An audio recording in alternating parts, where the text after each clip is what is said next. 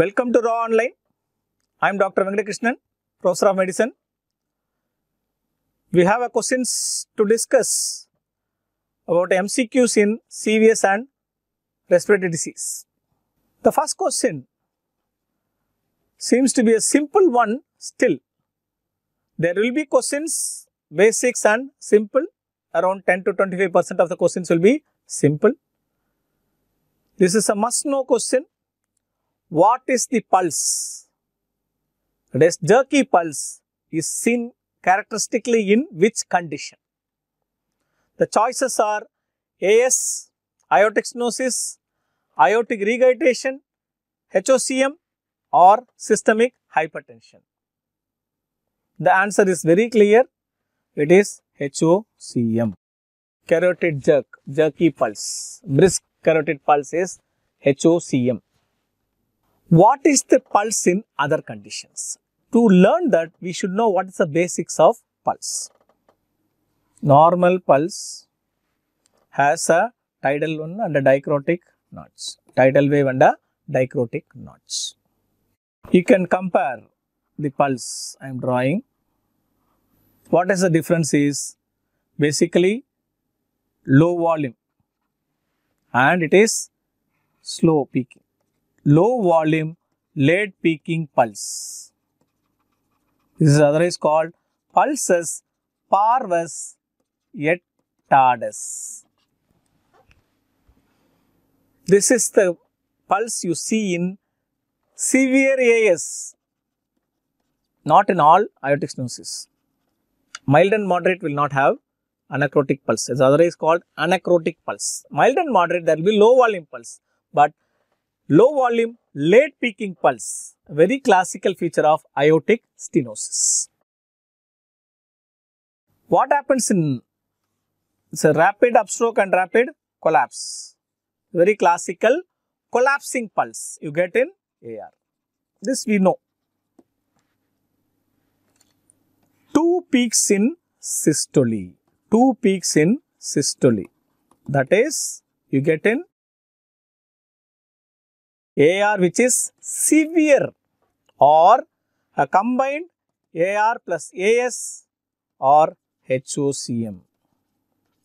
So, if the question was bisferiens pulse, then it is seen in severe AR, HOCM also or combined AR with AS.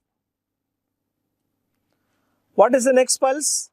One peaks in systole, one in diastole.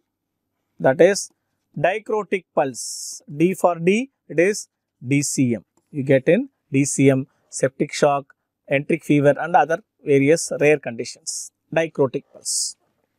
Pulsus paradoxus cannot be drawn. It is nothing but the pulse, the degree of there is exaggerated decrease in systolic BP during inspiration. Clinically by palpating the pulse during inspiration the pulse is not felt. The pulse is felt only during expiration. That is the classical feature of pulsus paradoxus you get in cardiac tamponade and acute severe asthma, rarely in tension pneumothorax. So, three causes acute severe asthma, cardiac tamponade, tension pneumothorax can be accept also. That is pulsus paradoxus. Pulsus alternans. A normal pulse followed by a weak pulse. Normal pulse followed by a weak pulse. Alternating normal and weak pulse. Pulsus alternans. You get in severe left ventricular failure. Severe LV failure. Yes. So, if you know the pulses and the characters, it's very easy to say what are the pulses. Pulse, you should know which condition which pulse is present. The last one is bigeminy. Every normal beat is followed by a ectopic. Bigeminy. Every normal beat, there is a ectopic, there is a pause. Normal beat, ectopic, there is a pause. Bigeminy is a feature of digoxin toxicity. Digoxin toxicity.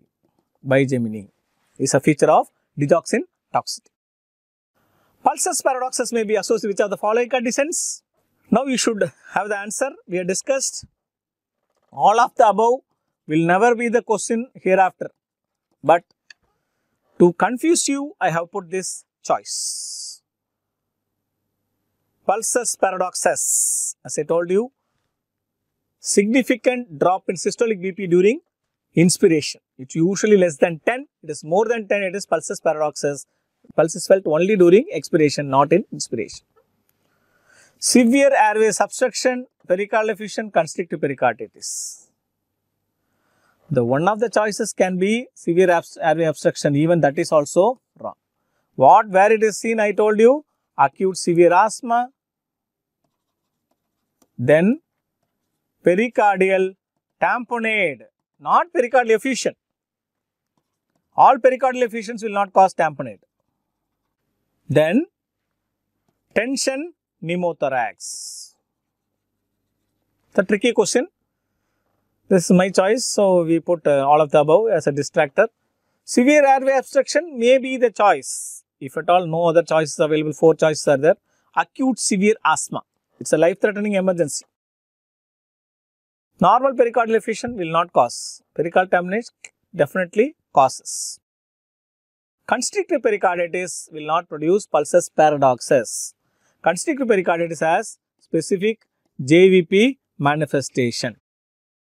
One is Kussmaul sign that is during inspiration there is paradoxical rise in JVP and Friedreich's sign. Friedreich's sign is deep Y descent, prominent Y descent you see in JVP that is in constrictive pericarditis.